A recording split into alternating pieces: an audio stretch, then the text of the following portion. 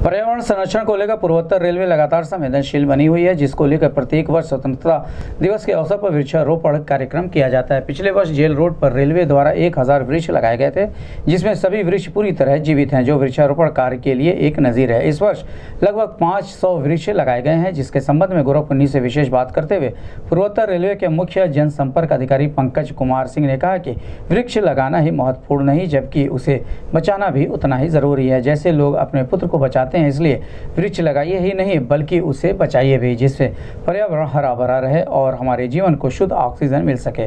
Gorakhpur news से बात करते हुए पूर्वोत्तर रेलवे के सीपीआरओ पंकज कुमार सिंह ने कहा।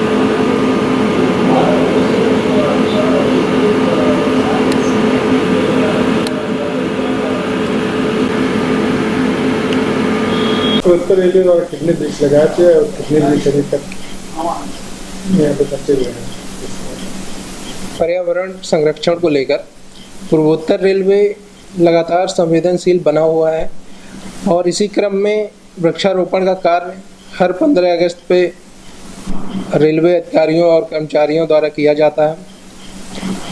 पिछले वर्ष हम लोगों ने जो रोड आपकी मोहद्दीपुर से असुरन की तरफ़ जाती है बौलिया कॉलोनी और कौवा बाग के बीच में से।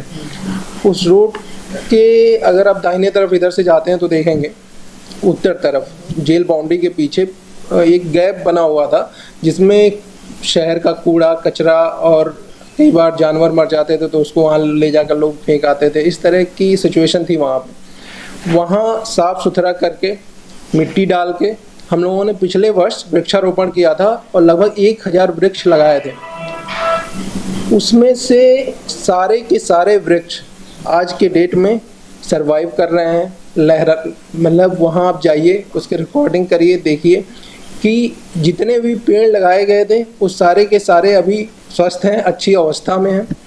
और इस वर्ष 15 अगस्त को पुनः महाप्रबंधक महोदय की अगुवाई में पूर्वोत्तर रेलवे के अधिकारियों, कर्मचारियों ने उसी रोड के दूसरी तरफ़, दक्षिण साइड में 500 के आसपास वृक्ष लगाए हैं और लगातार हम लोगों की कोशिश है, जो वृक्षारोपण का कार्य हम लोग कर रहे हैं, उनका सर्वाइवल हो। मतलब जो वृक्ष हम लोग लगा रहे हैं, उसमें लगातार उसमें खाद, पानी और इस तरह की व्यवस्था भी कर रहे हैं और उसकी देख रेख और निगरानी इतनी प्रॉपर तरीके से जो एग्जीक्यूटिंग यूनिट है, कर रही है कि वो सारे वृक्ष हमारे लहा रहे हैं।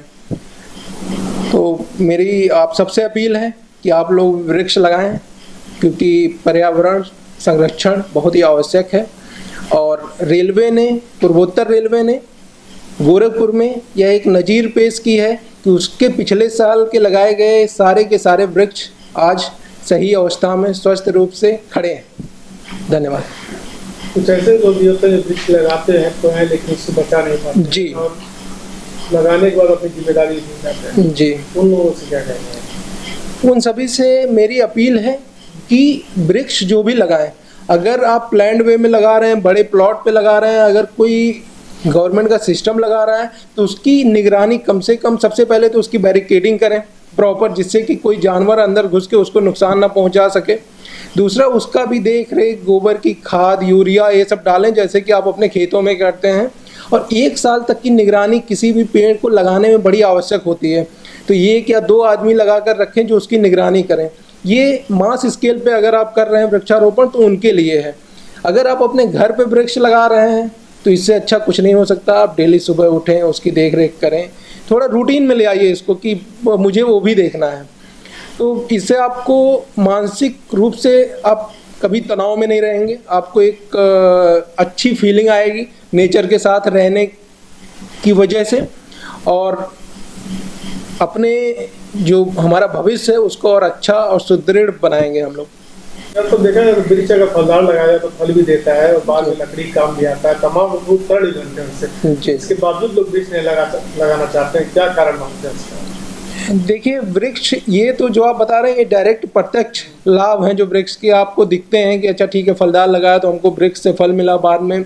उसकी लकड़ी भी फर्नीचर बनाने के काम में आती है नहीं तो जा आग जलाने के काम में आती है।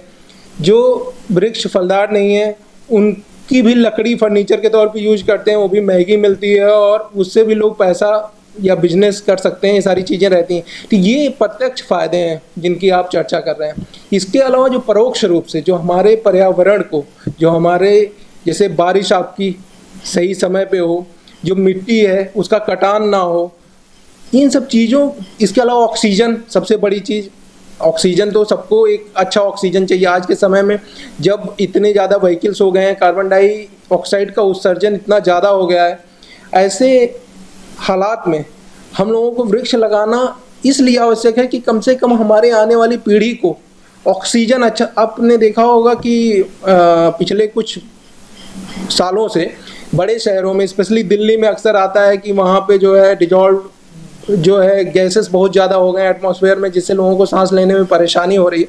तो इस तरह की समस्या हर जगह ना फैले। इसको रोकने के लिए वृक्ष लगाना बेहद ही महत्वपूर्ण है। और मैं सबसे अपील करूँगा कि इसके डायरेक्ट इनडायरेक्ट फ़ायदे हैं। आप अपने लिए ना सही, अपनी आने वाली पीढ़ी के लिए, अपने भविष्य के लिए वृक्षारोपण करें और पेड़ों की रक्षा अपने संतान के भांति ही करें।